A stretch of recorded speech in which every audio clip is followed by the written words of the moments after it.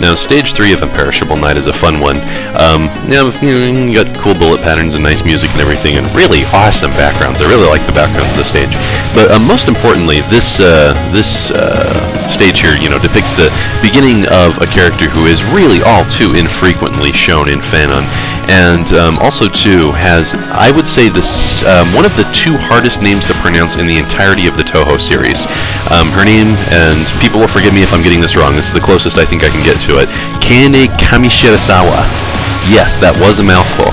The only one name in the whole series that competes with that, I think, is Shikieiki Yamaxanadu. Ugh. Ugh, to, usually need to have a swish of Listerine after I say those names. But, um, so, something, there's uh, a really powerful canon slash fanon disparity here. And, um, now, here she is. I think, I think her portrait art that ZUN does of her is very good.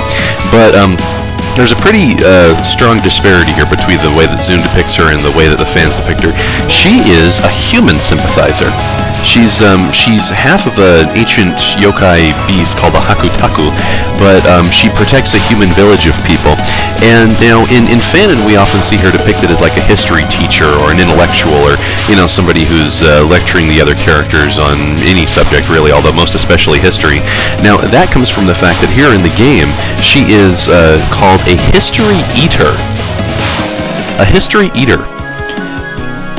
It's not been properly explained to me what that means, although from what I can gather from the in-game dialogue and some of the canonical writings, um, that means that she can basically swallow up past events and past places and people as if they had never happened. Like, for instance, she, you know, uses some kind of a magical trick to hide her own home village from the intruders, uh, the player characters, as they're coming through an imperishable night here. And this is a really horrifying concept to me because somebody made a really good point on an image board some indeterminate amount of time ago that you know the ability to eat history given to a moe blob that's like some hideous horrible power that hp lovecraft would come up with. I mean it's not too hard to you know picture keine here playing poker with cthulhu under the seas. Uh, i mean that's really terrifying you know eating history. Um, but yeah, I mean, what else is there to say? You have here, um, right now she's in her human form in Mohehehe, and um, I, I, see a few fans of Keine, but she's not as popular as a character as I think she deserves to be. I mean, her fanon depictions simply are of a functional purpose.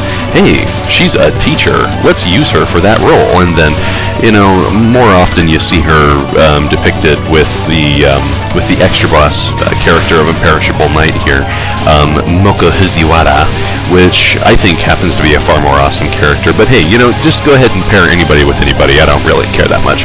But um, of course, then the question comes up: Why is Keine perhaps potentially, theoretically, um, why would she be less popular with some people?